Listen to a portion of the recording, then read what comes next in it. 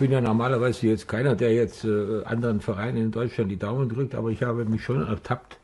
Diese Woche, Mittwoch, habe ich das Spiel angeschaut und habe mich wahnsinnig gefreut, dass äh, die Eintracht das äh, Endspiel gewonnen hat.